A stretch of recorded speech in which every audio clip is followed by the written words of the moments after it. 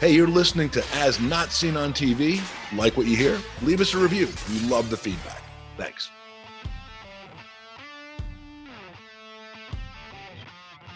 On last week's episode, you met Lale Labuko, a man who's dedicated his life to saving Mingi children, condemned to a brutal death by their own families and tribe who believe they're cursed. In this week's episode, we're headed to the Kara tribe village, located not just off the beaten path, but off the grid. So Lale can negotiate again with the elders in chief and hopefully rescue more Mingi children. So why are we here? What are we going to see?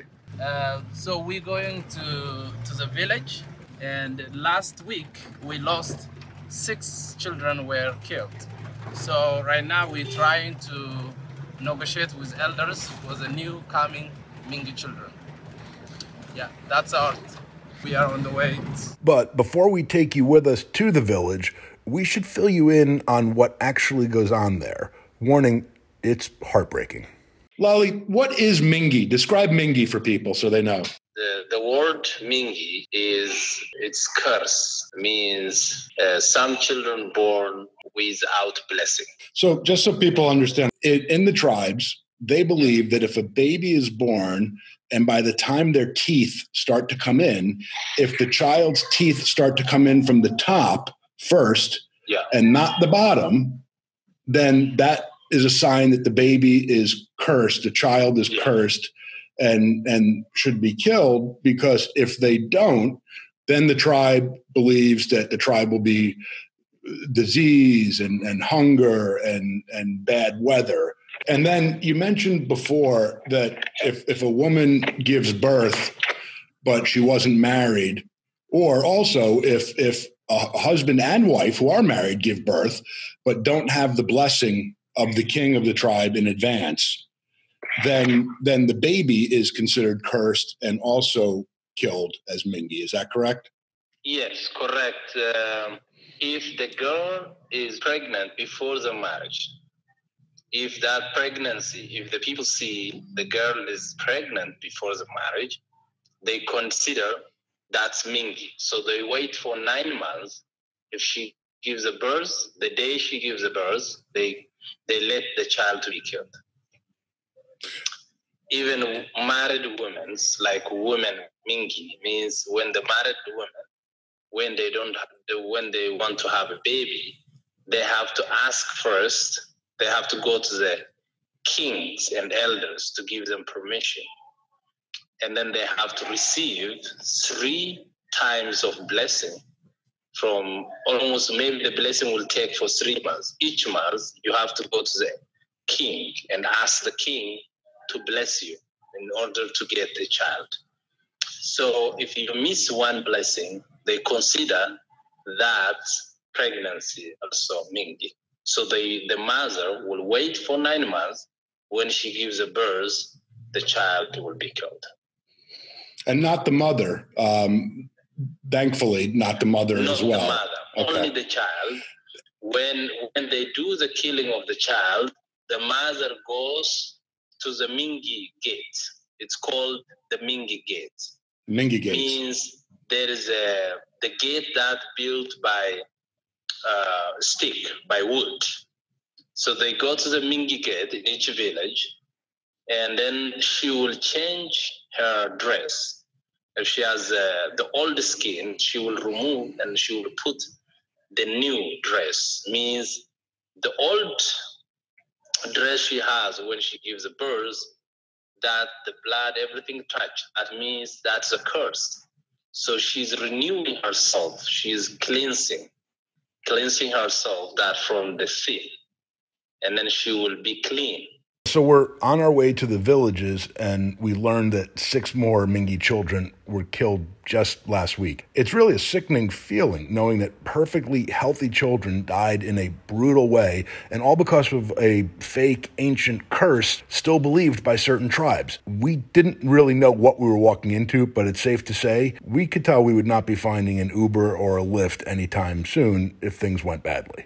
So the village we're going to right now, six children were killed in the last week. Yes. Mingi children. Yes. So six children were killed. So we're trying to negotiate with elders in the future to rescue more children in the in the tribe. Reaching the village was literally like stepping into a lost world, a place that surely could not exist anymore, but it very much did a place where the very concept of time does not exist unless measured by frequency of rains or full moons, and where warriors mark their bodies to signify they've actually killed others in battle on behalf of the village. And yes, where babies and young children are either very much loved or very much killed based on which way their teeth grow in, among other things. So, the first order of business upon arriving at the village is to introduce ourselves with the help of our translator. A lot of people in America who also care about Ethiopia and have been helping over the years. So, we've been back to Ethiopia in different parts of the country, a lot, doing different things to help people. After the introduction, we would learn if we were granted permission or the chief's blessing, allowing us to stay.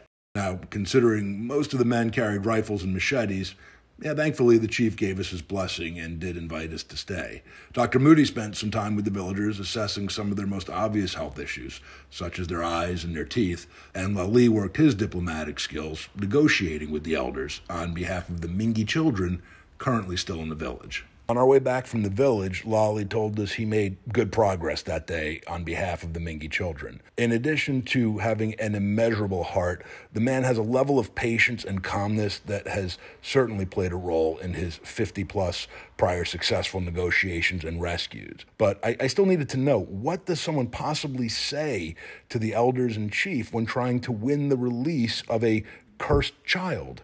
So, so I, I told them many times, I said, let me be a river. Let me be a bush. Let me be a cliff. Means they left in the bush. I said, instead of lefting in the bush, why don't you think I am a bush? Let me be a river. Let me be, I am a bush. I, am a river. So why don't you put all the curse to me? Because I know that I will be a blessing. So God will turn the curse to blessing. So that was our negotiation because the tribes believe if you do the rescue, the curse will come back. I said, no, believe me, I will take the curse, but nothing is coming to you because they believe, they believe the evil spirit will be angry, will come back and kill the family. I said, no, I guarantee you, I believe the curse will come to me, but I will turn the curse to blessing in the power of God. Lale asked to take on the children's curse because, after all, one tribe's curse is another man's blessing 50 times over. Which brings us to our next stop, where Lale is building an even bigger, brand new home for all of his beautiful blessings to live together. So, we are here at the children's home. It's a very new children's home and it's under construction. So, you see three different blocks. So, we're building for the 50 children, but our plan is to add more kids to up to 80. And uh, we showed them the, the kids will get in here in six weeks. So our plan is to give these children the best shelter, the best place to sleep, to study. This is a laundry place. So this uh, is going to hold four mamas. Each mamas will wash, and then the water goes this uh, uh, pit here. So this is a laundry place because we have so many kids. Every day there is a dirty clothes. So this is a laundry area. And just to fill you in on what a mama is, well, it's exactly what it sounds like. Full time mamas that live with the children, loving on them and caring for them just like their own. Yeah, so this is a cement uh, bed, uh, concrete bed and just to be you know safe for the children, strong, and and then painting maybe something we write on the wall. It will be beautiful next week. You know, some decoration, place to put uh, children clothes, you know, everything.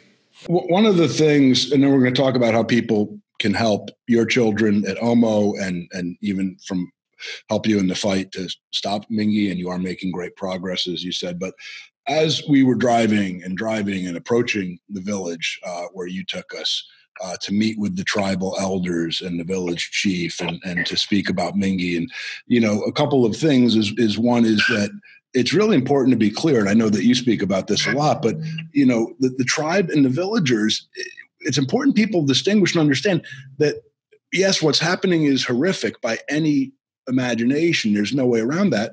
But these are not cold blooded baby killers at heart.